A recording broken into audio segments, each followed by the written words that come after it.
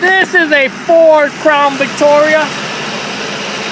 As you see, it starts up. Now this unit has a lot of collision damage in the front, but it does run. We're gonna move this car forward for you.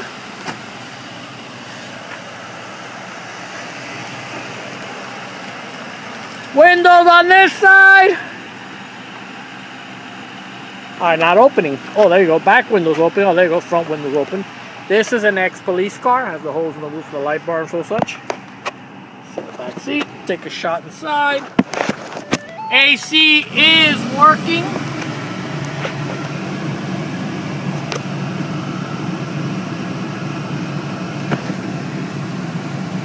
AC is working and uh,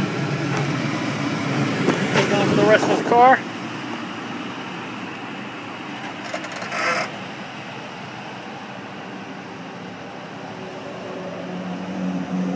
Windows on this side are working.